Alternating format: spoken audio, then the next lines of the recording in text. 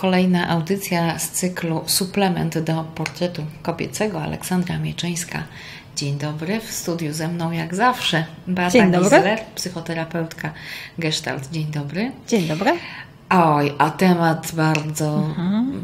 mm, mocny. Mocne. Uzależnienia kobiece. Od czego uzależniają się kobiety i dlaczego uzależniają się kobiety? Czy uzależnienie ma płeć?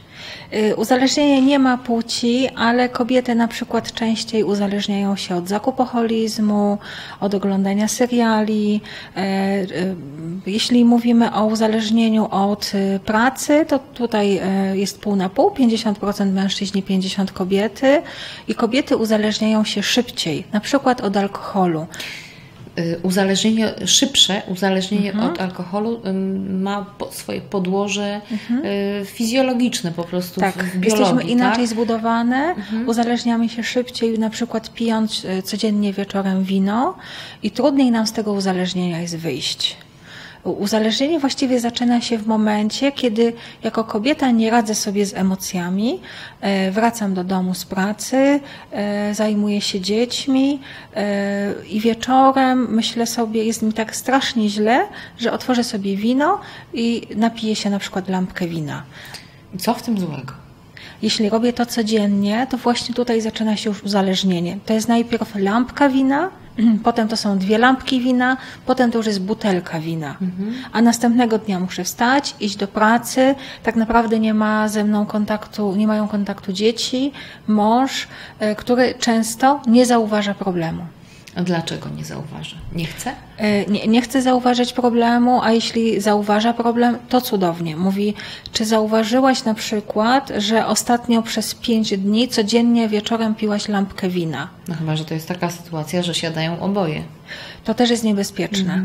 E, To, to, to jest taki ich rytuał, e, który wcale nie musi się wydarzyć.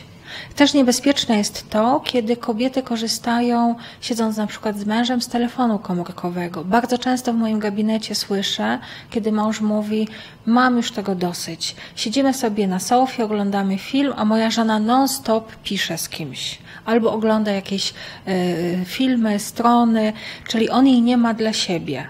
Ona nie widzi y, żadnego problemu, że to jest jakiś problem, ponieważ ten telefon ma tak naprawdę przyklejony do dłoni i mówi, ty wymyślasz. No nie wymyśla. On jej naprawdę nie ma dla siebie. Mhm. Może napisać do niej y, SMS albo wiadomość na Messengerze. Myślę, że tak, ona... y, To, jest być taki- może zadziała przez moment, tak? Że to jest taki kłopot, że nie, nie bycia w kontakcie. Y, Ma, ona ma wrażenie, że jest z tym mężem, ale nie jest z mężem, bo jest z osobami, na przykład z przyjaciółkami, z którymi w tym momencie pisze. A i z nimi tak naprawdę też nie jest. Też nie jest. E, Kobiety też uzależniają się na przykład od seriali. Znam kobiety, które potrafią na przykład w trakcie ślubu swojego syna e, jechać e, do domu, żeby obejrzeć serial.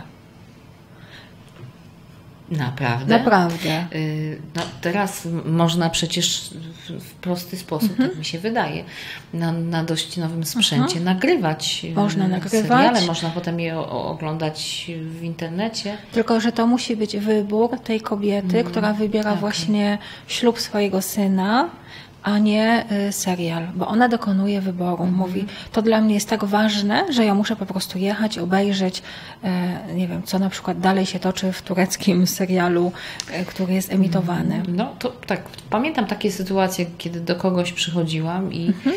mm, właśnie kończył się serial Mhm. i trzeba było w spokoju i w ciszy doczekać, aż odcinek się skończy. Rzeczywiście tak, ale to nie był ślub syna. Mhm. To była po prostu jakaś towarzyska wizyta. Też się to się chyba nie powinno zdarzyć. To też się nie powinno zdarzyć. Ja, ja pamiętam, jak byłam młodą dziewczyną i oglądałam seriale y, Dynastie. ym, taki był serial brazylijski, Niewolnica Izaura. tak. Pamiętam te filmy, pamiętam te przeżycia, kiedy taki serial pojawiał się raz w tygodniu y, w telewizji i to było naprawdę duże przeżycie. Ale teraz te seriale są dostępne non-stop. Znam osoby, które te seriale potrafią 10 godzin dziennie poświęcić na oglądanie seriali. Czyli one to są kobiety, które nie są y, z dziećmi, nie są y, z rodziną, tylko siedzą przed telefonem, przed telewizorem i żyją tymi serialami. Żyją Nie żyją tymi- swoim życiem. Nie żyją swoim życiem. One, one są w stanie powiedzieć wszystko na temat głównych bohaterów, ale nie wiedzą nic, co dotyczy dzieci. Na przykład. Oczywiście nie mylmy tutaj mhm. korzystania z przyjemności, na tak. przykład raz na jakiś czas z lampki koniaku mhm. wieczorem z tak. mężem, tak. z, z, uzależnieniem mhm. i też dajmy sobie prawo na oglądanie seriali, zwłaszcza tak. tych dobrych, bo takie Dużo się jest znalazły. dobrych seriali. Mhm. Tak. I tu rzeczywiście można sobie zrobić taki maraton pod mhm. jednym warunkiem, że robimy sobie ten maraton raz w miesiącu. Tak, tak? A, nie a, nie, a nie codziennie, nie, nie co weekend. I to nie może tak być, że na przykład wieczorem kobieta zasiada przed telewizorem i ogląda y, trzy godziny serialu, a w tym samym momencie mąż nie może się doprosić o to, żeby ona z nim porozmawiała, była, żeby razem zjedli kolację, bo dla niej ważniejszy jest serial, albo dla niej ważniejsze jest kupowanie ubrań przez internet na mhm. przykład. To jest też uzależnienie. Uzależnienie kobiece. Mhm. E, kobiety rekompensują sobie swoje nieudane życie, kupując na przykład bardzo dużo ubrań, butów. E, czasem kupują e, po wiele razy te same ubrania, bo nawet nie zauważyły, że już to kupiły miesiąc temu. Mhm. 13 buty, 50 mhm. torebka. Tak, zdecydowanie męża, lepiej mhm. przyjść na terapię i porozmawiać o tym, że jestem nieszczęśliwa, że mam jakieś deficyty, że coś się złego dzieje, niż po prostu wydawać mnóstwo pieniędzy na ubrania. Ale musi się coś wydarzyć, co mm, pozwoli zobaczyć w ogóle, w jakiej kondycji, w jakiej sytuacji jestem. No właśnie, często te kobiety nie chcą widzieć. E, dopiero na terapii po długim czasie, czasem to jest pół roku, czasem to jest rok, uświadamiają sobie, że, e, że one mają taki problem, że one codziennie wieczorem e, zasiadają przed telefonem i zamawiają na przykład ubrania. Uświadamiają sobie później, przechodzą na terapię z innego powodu, a tak naprawdę ich problem dotyczy właśnie uzależnienia. Mhm. Uzależnienie od zakupów, mhm. także takich robionych bezpośrednio w tak. sklepach, tak? Uzależnienie od e, używek w ogóle tak. chyba, tak? Mhm. E, uzależnienie od telefonu, mhm. co jeszcze? Od seriali, mhm. od e, pracy, e, uzależnienie od seksu, e, wszystkie uzale uzależnienie od leków.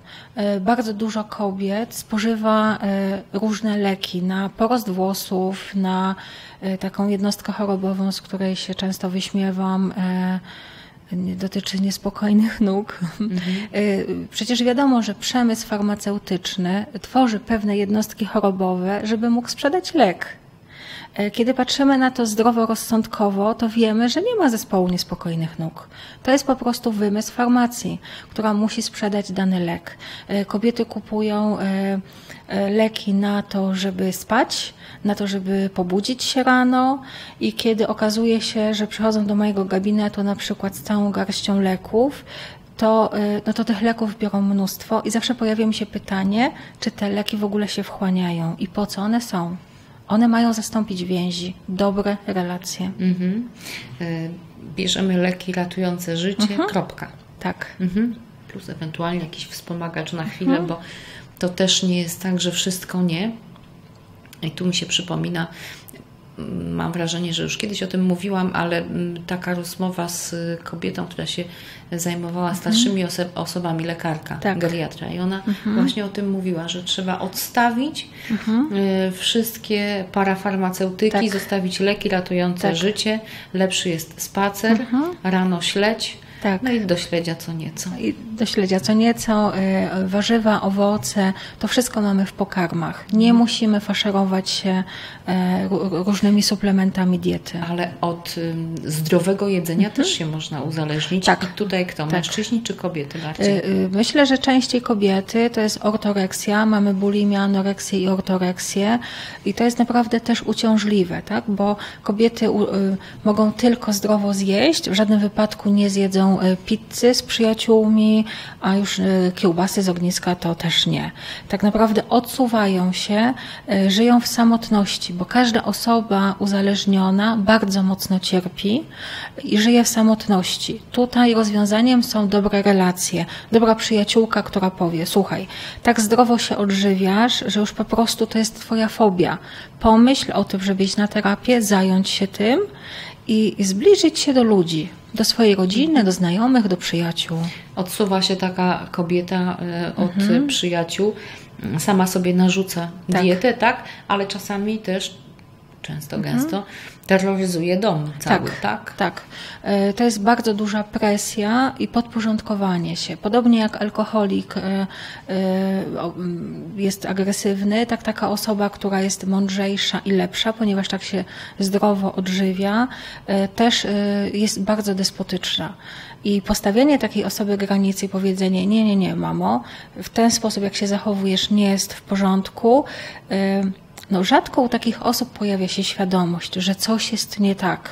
One są przekonane o swojej wyższości, o tym, że mają rację i musi naprawdę się wydarzyć jakaś krytyczna sytuacja, e, żeby e, zaczęły zdroworozsądkowo myśleć. Mhm. Potem przychodzi taka refleksja, no mhm. chciałam dobrze, tak? Tak, że chciałam dobrze, e, i to jedzenie też przestaje być przyjemnością. Y, to jest wszystko tak zdrowe, że tam zjedzenie kawałka czekolady w ogóle już nie jest możliwe.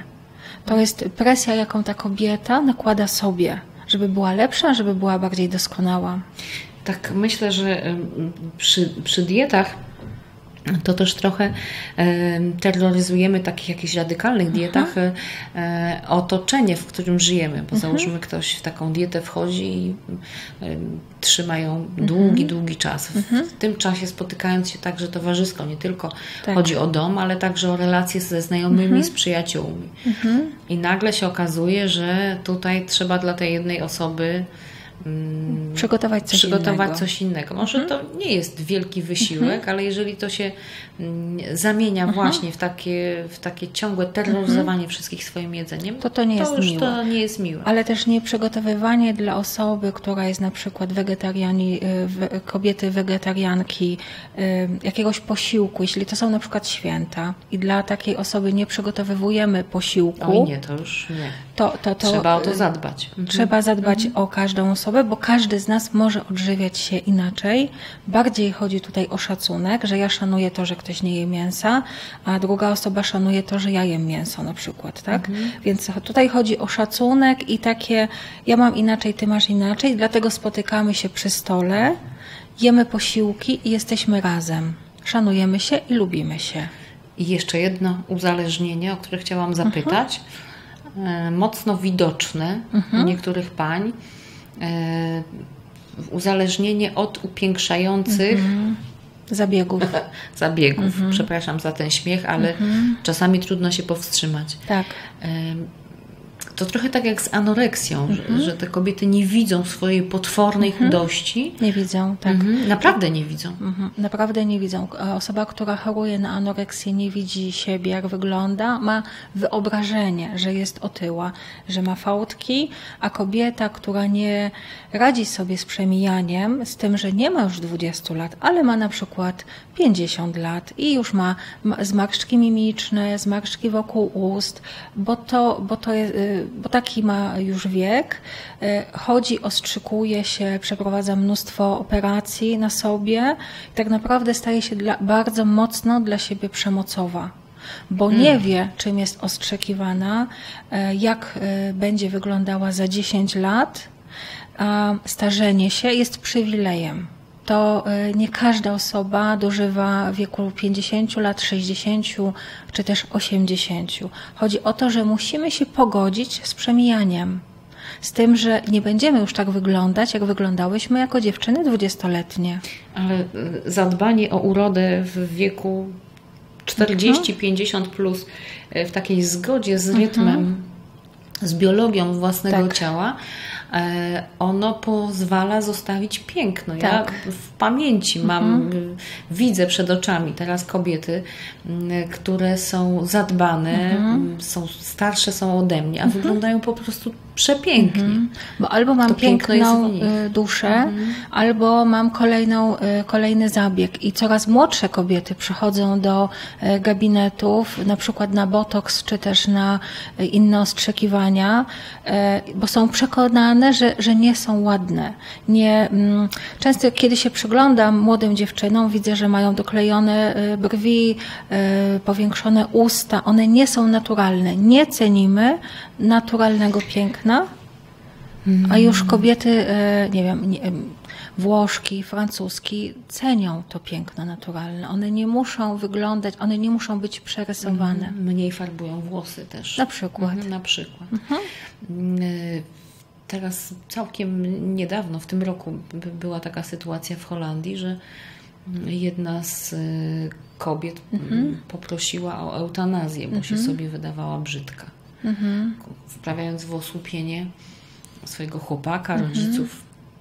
No jest to wstrząsające, tak? E, Pojawia im się pytanie, em, czego ona musiała doznać jako dziecko, e, że tak mocno siebie nie kochała. Jak mocno musiała być niekochana, że nie, nie, nie pomogła jej, nie wiem, terapia, bo to, kiedy jesteśmy niekochani, nie akceptujemy siebie, swojego wyglądu, tego, że e, no tak wyglądamy, że tacy jesteśmy. A uzależnienie e, pęta nam ręce, wracając do tematu, e, i tak naprawdę e, sprawia, że stajemy się niewolnikami, Tak. a chodzi o to, żebyśmy odzyskali swoje własne życie. Tak, i żebyśmy mogli być bliżej innych ludzi, bo kiedy mniej czasu ja jako kobieta poświęcam serialom, albo odłożę telefon komórkowy do koszyczka w domu, na przykład na stole, to jestem bliżej e, mojej rodziny, mojego męża, moich znajomych. Jestem z nimi. Takie wyzwanie rzucamy. Odłóżmy telefon. Do koszyczka. Choćby W czasie Bożego początek. Narodzenia na przykład telefon cała rodzina odkłada do koszyczka i przyciszamy. Bardzo dziękuję za rozmowę, za spotkanie. Beata Gisler dzisiaj mówiła o uzależnieniach kobiecych. Dziękuję bardzo.